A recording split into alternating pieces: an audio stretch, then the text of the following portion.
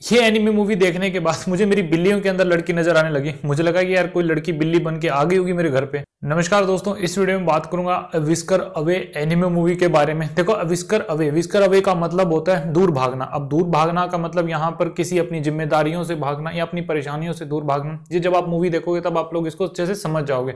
इस मूवी को रिलीज़ किया गया नेटफ्लिक्स के ऊपर। ये हिंदी में डब नहीं है, ये आपको इंग्लिश में डब मिल जाएगी। हाँ इसके साथ आपको सब मिल जाएँगे। अब देखो यार, उस सबसे अपने साथ डिक्शनरी रख लेना, या फिर फ़ोन से ही मतलब देख लेना कि मीनिंग क्या है उनसे जो भी वो कैबलरी उसमें आ रही हो तो आप इसे अच्छे से समझ जाओगे फिर। तो अब इस एनिमे मूवी की एक खूबसूरत और प्यारी सी कहानी के बारे में बात कर लेते हैं। एक लड़की होती है जिसका नाम मुगो होता है, या फिर कहें इसका नाम मियो होता है, ये अपने दोस्तों को कहती है कि इसको मियो कहा जाए। ये जो एनिमे करेक्टर है, ये बहुत कुछ कहता है, बिना कुछ कहे। वाह अजय कलर क्या बात बोली है। अपने माता पिता के अलग होने के बाद मियो जो है वो पूरी दुनिया से नफरत करने लग जाती है। उसे बस यही लगता है कि यार पूरी की पूरी दुनिया खत्म हो जाए, ऐसी ही वो कामना करने लग जाती है। अब देखो यार, एक बच्चा क्या करेगा? उसके लिए तो उसकी पूरी दुनिया उसके माँ बाप ही होते हैं। जब उसके माँ बाप जब अलग हो रहे हैं तो एक बच्चे के परस्पेक्टिव से देखें तो उसको तो यही लगेगा ना, यार कितने सेल्फिश है, इन्होंने मेरे बारे में नहीं सोचा।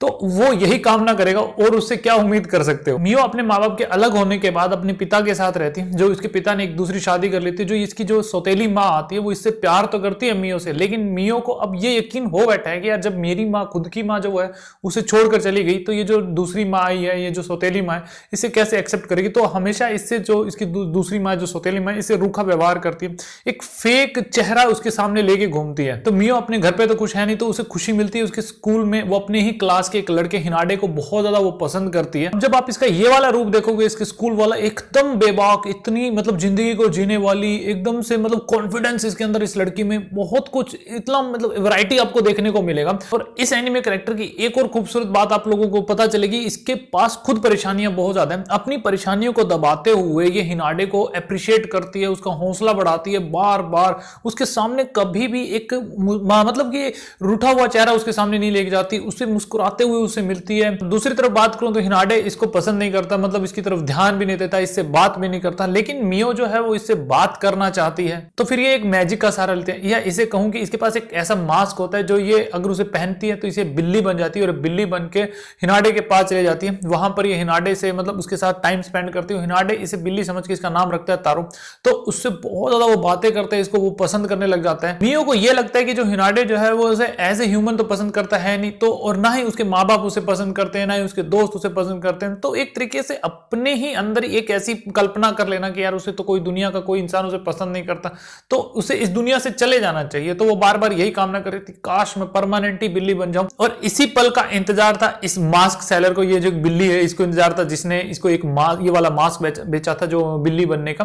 तो जैसे ही ये बात वो बोलते हैं तो इसको ये परमानेंट बिल्ली बना देता है। और मियो जो है वो इसके जाल में फंस कर रह जाती है। अब मियो अपनी हेल्प खुद कैसे करती है या फिर कौन इसकी हेल्प करता है तो इसके लिए तो देखो आप लोगों को ये मूवी देखनी पड़ेगी। अब मुझे इस मूवी की एक बात जो सबसे अच्छी लगी वो इसमें दी गई नॉलेज है वो बहुत अच्छे से हमारे सामने डिलीवर करती है ये। जब बचपन होता है तो उसमें बच्चे बड़े ही चंचल दिमाग के होते हैं, बहुत कोमल दिमाग के होते हैं। उनको कुछ मतलब एक छोटी सी बात कह दो तो उनको बहुत ज़्यादा बुरा लग जाता है और या फिर कहूँ, बड़ी से बड़ी बात बोल दो तब भी उनके ऊपर फ़र्क भी नहीं पड़ता। और कभी कभी वो अपनी ही ऐसी धारणा बना लेते हैं कि यार उनको तो कोई पसंद नहीं करता, उनके माँ बाप उसे पसंद नहीं करते। तो एक ऐसी ही उनकी कल्पना बनने लग जाती है। ऑब्वियसली बच्चा है तो अलग अलग टाइप के उसके दिमाग में ख्याल चलते रहते हैं। जो टीनेजर्स होते हैं वो अपनी परेशानियों को सामना करने के बजाय उनसे वो भागने की कोशिश करते हैं। जैसे कि इसमें मियो कर रही थी और ये केवल टीनेजर्स के साथ नहीं है एडल्ट के साथ भी होता है।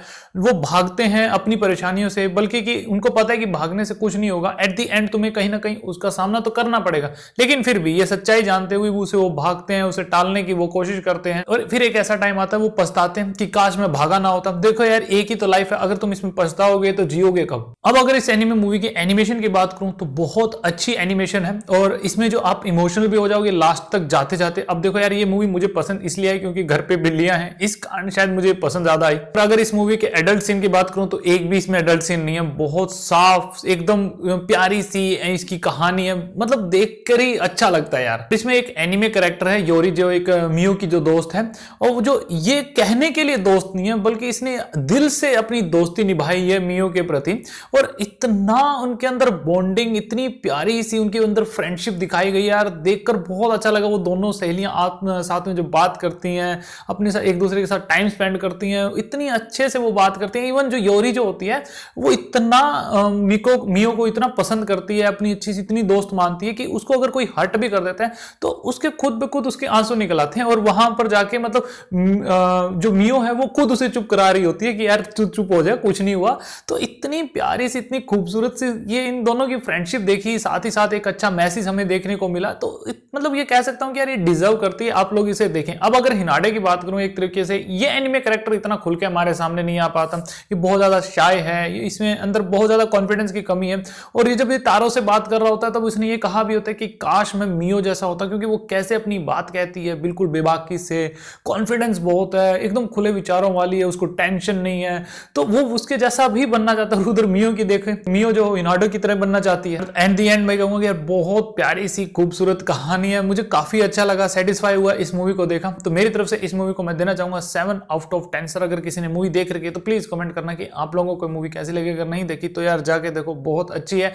कोई भी इसमें बेकार का सीन नहीं है। एक अच्छी सी, थोड़ा बहुत साउंड भी इसका अच्छा है, और इसके एनिमे करेक्टर बहुत अच्छे हैं स्टोरी बहुत प्यारी है, आप लोगों को सीखने को बहुत बहुत कुछ मिलेगा। जैसे अपनी परेशानियों से नहीं भागना चाहिए, बहुत सारी चीज़ें आपको इसमें सीखने को मिलेगी। तो बस आज के लिए इतना ही था इस वीडियो में। Thanks for watching this video मिलते हैं नेक्स्ट वीडियो में। जय हिंद।